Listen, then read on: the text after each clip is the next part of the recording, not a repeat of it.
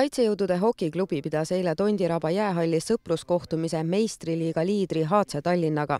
sõprusmängu eesmärgiks oli ettevalmistus esmaspäeval Lätis algavateks Balti sõjaväespordi talimängudeks, kus tiitlikaitsjal Eestil tuleb lisaks tavapärastele Läti ja Leedu meeskondadele vastu seista ka Kanadale.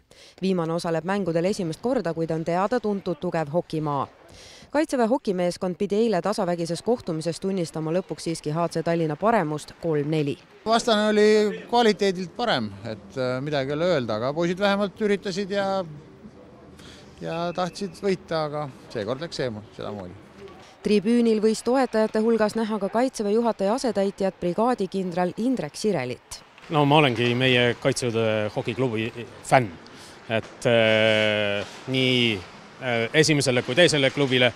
Äh, jõudumööda ma olen käinud ka nende mängusi vaatamas äh, harrastajate liigas ja kindlasti ma tunnen mõnu, sellepärast et hoki on niisugune põnev meeskondlik mäng, et mis alati võtab kaasa pärast mängu tunnistas peatreener Rooba, et mehed on Balti sõjaspordi talimängudeks valmis. ei no valmis oleme, me oleme valmis tegelikult noh, ma arvan, et nii valmis, kui on võimalik olla, et loomulikult tahaks, et oleks treeninguid tihedamini ja, ja nii edasi, aga aga vastavalt sellele, kui palju meil praegu treeninguid on ja, ja vastavalt sellele oleme praegu valmis turniiriks. meeskonna areng on väga hea olnud ja ma arvan, et võistkond on valmis selle jaoks, et minna ja pista siis äh, hokikepid kokku äh, Läti ja Leeduga ja ka, ka Kanadaga, kes äh, siis tänavu võtab esimene kord osa hokiturniiril neljandad Balti sõjaväespordi talimängud toimuvad üheksandast kaheteistkümnenda jaanuarini Lätis, Ceesises ja Valmieras. Balti riikide kaitseväelased, kaitseliitlased, noorkotkad ja kodutütred